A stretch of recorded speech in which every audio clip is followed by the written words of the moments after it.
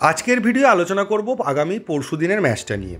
আগামী পরশু দিন বসুন্ধরার সঙ্গে মোহনবাগানের এএফসি কাপের অ্যাওয়ে ম্যাচ আছে, যেটা বাংলাদেশে গিয়ে খেলতে হবে। তো এই ম্যাচটাতে কে এগিয়ে আছে, কে পিছিয়ে আছে, এইটা নিয়েই আজকের ভিডিওতে আলোচনা করব। তাহলে চলুন দেরি না করে শুরু করে দেওয়া যাক। প্রথমে বসুন্ধরা কিংস নিয়ে যে কথাটা বলতে হয়, সেটা হচ্ছে যে লাস্ট ম্যাচের অভিজ্ঞতা থেকে আমরা যেটা দেখেছি, যে বসুন্ধরা কিংস যে টিমটা রয়েছে, সেটা কিন্তু আমাদের এখনও পর্যন্ত যতগুলো টিম ফেস করেছি আমরা আইএসএল বলুন ডুরান কাপ বলুন বা এফসি কাপ বলুন, তার মধ্যে সব থেকে টাফ টিম কারণ এখনও পর্যন্ত আমরা কোনো ম্যাচে সেইভাবে ড্র করিনি।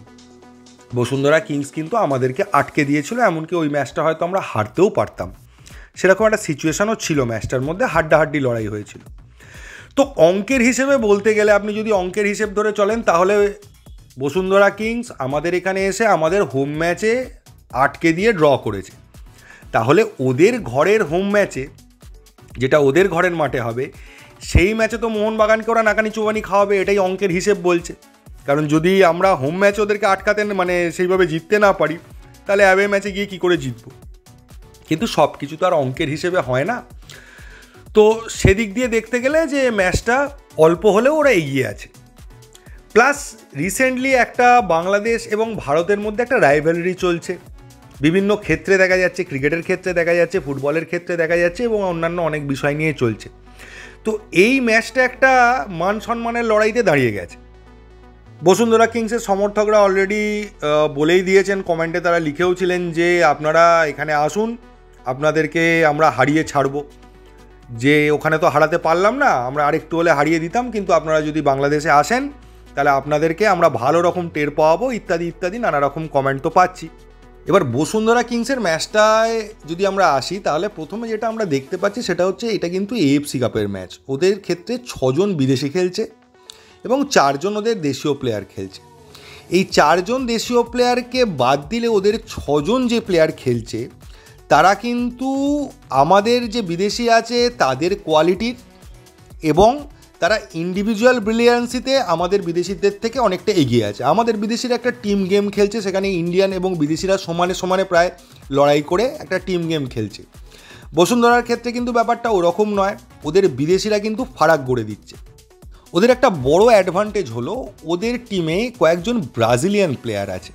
এবং আমরা ইতিহাস থেকে দেখেছি যে আমাদের ভারতবর্ষে কিন্তু ব্রাজিলিয়ান প্লেয়াররা ভীষণভাবে সফল হয়েছে। বিভিন্ন ক্ষেত্রে বিভিন্নভাবে ব্রাজিলিয়ান প্লেয়াররা কিন্তু এখানে এসে যথেষ্টভাবে নিজেদেরকে প্রমাণ করেছে। সেটা যে কোনো কারণেই হোক। সে আজকে আপনি যদি দিয়াগো মরিসিওকেও দেখেন, এই বয়সেও সেই কিন্তু ফুল ফুটিয়ে চলেছে। এবার আগের ম্যাচে আমরা যেটা দেখতে পেয়েছিলাম, ওদের টিমটা এইভাবে সাজাচ্ছে, ওরা কিছুটা চার দুই তিন এক। চারজন ডিফেন্সের মধ্যে ওরা কিন্তু একজন বিদেশিকে রেখেছে, বাকি তিনজন ওদের বাংলাদেশের প্লেয়ার এই চারজনের সামনে যে ব্লকাররা রয়েছে, তারা দুজনেই কিন্তু বিদেশি। এবং তার সামনে যে তিনজন রয়েছে অ্যাটাকিং মিডফিল্ডার বা খেলা তৈরি করার জন্য, তাদের মধ্যে আবার দুজন বিদেশি। এবং সামনে ব্রাজিলিয়ান ডোরি তো রয়েছেই একদম স্ট্রাইকার হিসেবে।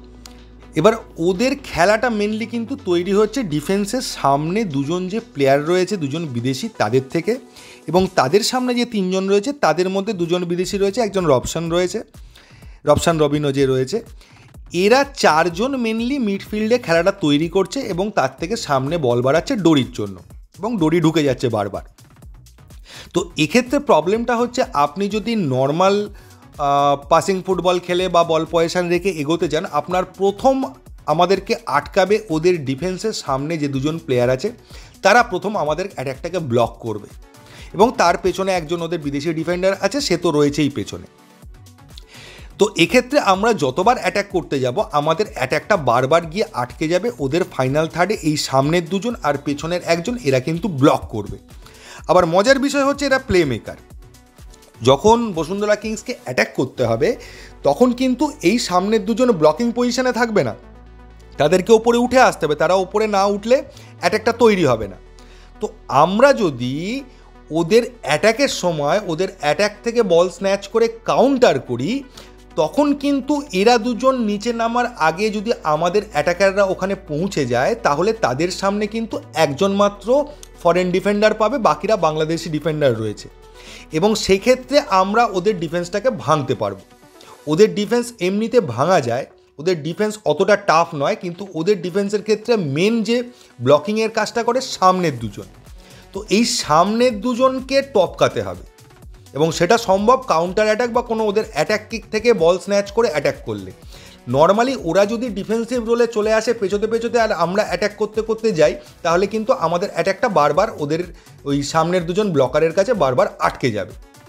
এবার যদি স্ট্র্যাটেজিক্যালি দেখেন, তাহলে তো আমার মনে হয় ওদের কোচের স্ট্র্যাটেজিটা কিন্তু দুর্ধর্ষ। এটা নিয়ে কোনো প্রশ্নচিহ্ন নেই, এটা প্রশংসা করার, সেটা প্রশংসা করতেই হবে। উনি যেভাবে সুন্দর করে সাজিয়েছিলেন, পেছনে মানে একদম ডিফেন্ডারের সামনে দুটো ব্লকার যেটা আমাদের নেই বা আমরা যে জায়গাটায় প্রবলেমে পড়ছি বারবার, ওরা কিন্তু সেখানে পেছনে চারজন ডিফেন্স রেখেছে এবং তার সামনে দুজন ব্লকার রেখেছে, যার ফলে যেটা হচ্ছে যে ওদের ডিফেন্সটা কিন্তু নর্মালভাবে খুব কম্প্যাক্ট থাকছে। কিন্তু ওদের অসুবিধে ওই জায়গাটাই যে ওদের অ্যাট্যাক তৈরি করতে গেলে ওই দুজন ব্লকারকেই মাঠে নামতে হবে বা এগোতে হবে সামনের দিকে। তখন ওদের ডিফেন্সটা ওপেন হচ্ছে। এইটার ফায়দা আমাদেরকে তুলতে হবে, এই দিকটা আমাদেরকে মাথায় রেখে খেলতে হবে। নর্মালি যদি আমরা বারবার প্রেস করি, যেটা আমরা জেনারেলি করে থাকি, আমাদের মোহনবাগান টিম যেটা করে টোটাল হাই ডিফেন্স নিয়ে একটা প্রেস করে। সেই প্রেসটা যদি আমরা করতে থাকি, তাহলে আমাদের প্রেসিংটা কিন্তু ওরা বারবার বারবার আটকে দেবে এবং উল্টে যেটা হবে, ওখান থেকে ওরা কাউন্টার অ্যাটাকে চলে যাবে। এবং ওদের যে স্ট্রাইকার রয়েছে, সেই কিন্তু আমাদের সবথেকে ভালো ডিফেন্ডার এই মুহূর্তে যে হেক্টার উসতে তাকে হেলায় কাটিয়ে বেরিয়ে যাচ্ছে। এই জায়গাটা আমাদের মাথায় রাখতে হবে। আর একটা ব্যাপার হচ্ছে যেটা, সেটা হচ্ছে যে তিন ডিফেন্সে যাওয়াটা কতটা সেফ হবে বসুন্ধরা ম্যাচের ক্ষেত্রে, এটা নিয়ে আমার একটা প্রশ্নচিহ্ন আছে, যদিও টিম তিন ডিফেন্সে খেলে খেলে অভ্যস্ত। তবুও একটা সন্দেহের জায়গা থাকছে, যেহেতু ওদের ডিফেন্ডার কিন্তু হেলায় আমাদের ডিফেন্ডার ওদের সরি ওদের স্ট্রাইকার কিন্তু আমাদের ডিফেন্ডারকে হেলায় উড়িয়ে দিচ্ছে। তো এই জায়গাটার জন্য একটা চিন্তার জায়গা অবশ্যই থাকছে। তো আমার এটা থেকে যেটা মনে হচ্ছে যে বসুন্ধরা কিংস কিন্তু গোল করবে। এবং আমাদেরকে ওদের থেকে বেশি গোল করতে হবে, এইটাই হবে টিমের মোরাল।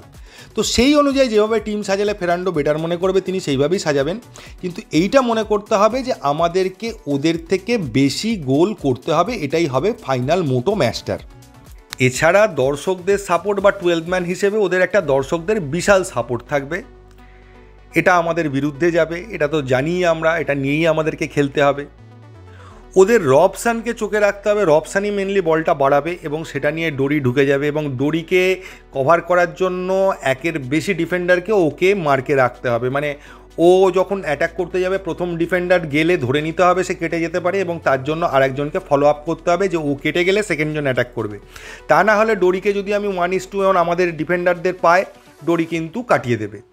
আর যদি রবসান রবিনহর বল সাপ্লাইটা বন্ধ করে দেওয়া যায় মানে রবসান রবিনোর যে বল সাপ্লাই করছে, সেটা যদি বন্ধ করে দেওয়া যায়, তাহলে তো ওদের খেলাটা অনেকটাই নষ্ট হয়ে যায়। কিন্তু রবসান রবিনোর যা কোয়ালিটি আমি দেখেছি, তাতে আমার মনে হয় না যে রবসান রবিনোকে ওই রকম একজন দুজন মিলে ওকে আটকে ওর খেলাটা নষ্ট করতে পারবে। ওর কোয়ালিটি যথেষ্ট হাই ও হুগো বুমসের কোয়ালিটিরই প্লেয়ার তো সেক্ষেত্রে আমরা যেটা করতে পারি, যদি রবসান রবিনও খুব ভালো লেভেলেরই প্লেয়ার হয়। ওকে যদি আমরা বুঝি যে আটকানোটা সহজ হবে না, তাহলে রবসান রবিনোর কাছে যেখান থেকে বল সাপ্লাইটা আসছে, সেই জায়গা থেকে আমাদের কাট করতে হবে। তাহলে আমাদের টার্গেট রবসান রবিনো না করে রবসান রবিনোকে যারা বল বাড়াচ্ছে, সেই সাপ্লাইটাকে বন্ধ করাটা মেন কাজ হবে। এবং সেইটা যদি করতে পারি, তাহলে কিন্তু ম্যাচ আমরা অনেকটাই এগিয়ে যাব এবং ম্যাচে আমরা কর্তৃত্ব দেখাতে পারব। এমনিতে আপাত দৃষ্টিতে দেখলে বসুন্ধরা কিংসের কোনো উইক পয়েন্ট আপনার চোখে পড়বে না। উইক পয়েন্ট তৈরি হবে ম্যাচের মধ্যে। ওদেরকে অ্যাট্যাক করতে দিতে হবে। ওরা ঘর ছেড়ে না বেরোলে ওদের ডিফেন্স ওপেন হবে না। আপনারা অনেকেই বলতে পারেন যে ওদের ডিফেন্স উইক না, ওদের ডিফেন্স কিন্তু একদমই উইক নয়। ওদের ডিফেন্স খুব সুন্দরভাবে সাজানো আছে। ওদের ডিফেন্সটা তখনই উইক হচ্ছে যখন ওরা অ্যাটাকে যাচ্ছে। তো আমাদেরকে ওদেরকে অ্যাটাক করতে দিতে হবে। ওরা অ্যাটাক করলে ওদের ডিফেন্স উইক হবে এবং সেইটার সুযোগ আমাদেরকে নিতে হবে। এটা হচ্ছে মুদ্রা কথা। তো যাই হবে, সেটা মাঠে হবে, তবে ম্যাচটা মোটেই ইজি হবে না। আমরা পিছিয়ে থেকেই শুরু করব ম্যাচটা বলা চলে, ওরাই এগিয়ে থাকবে, কারণ ওদের ঘরের মাঠ এবং যা পারফর্ম করছে ওরা যে লেভেলের ওদেরকে এগিয়ে রাখতেই হবে। তো যেটাই হবে, সেটা দেখা যাবে, তবে মোহনবাগানকে একটু স্পেশাল খেলতে হবে। আমরা মুম্বাই সিটির এগেনস্টে যে ম্যাচটা খেলেছিলাম, আমরা আগে থেকেই ধরে নিয়েছিলাম যে মুম্বাই সিটি অনেক টাফ টিম তাই আমরা নিজেদের হান্ড্রেড পার্সেন্টের ওপর দিয়ে এফর্ট করে ওদেরকে হারিয়েছিলাম। তো আমাদেরকে এই ম্যাচটাও সেই মানসিকতা নিয়ে খেলতে হবে। যে ওরা আমাদের থেকে এগিয়ে আছে, ওদেরকে আমাদের যে কোনো মূল্যে হারাতে হবে। আমাদেরকে নিজেদেরকে ছাপিয়ে গিয়ে ওদেরকে হারাতে হবে। এই মানসিকতা নিয়ে এই ম্যাচটা খেলতে হবে, না হলে কিন্তু এই ম্যাচটা বার করাটা সত্যিই মুশকিল হয়ে যাবে। তবে আমি এইটুকুও বলব, যদি এক পয়েন্ট নিয়েও মোহনবাগান ওখান থেকে আসতে পারে, সেটা খুব একটা খারাপ বিষয় হবে না। তো দেখা যাক, মোহনবাগান কোনো দিন এক পয়েন্টের জন্য খেলে না, আমি জানি, অনেকেই কমেন্টে কথাটা বলবেন, আমি সেই জন্যই বলছি যে আমিও জানি মোহনবাগান এক পয়েন্টের জন্য খেলে না, সে জেতার জন্যই খেলে। কিন্তু কখনো কখনো সিচুয়েশান তো আর সবসময় ফেভারে থাকে না। যদি সিচুয়েশান ম্যাচের মধ্যে খারাপ হয়, তাহলে সেক্ষেত্রে আমরা যেন এক পয়েন্ট নিয়ে আসতে পারি, এটাই কামনা রইল। এই বলে এই ভিডিওটা শেষ করলাম। থ্যাংক ইউ ধন্যবাদ এবং জয় মোহনবাগান!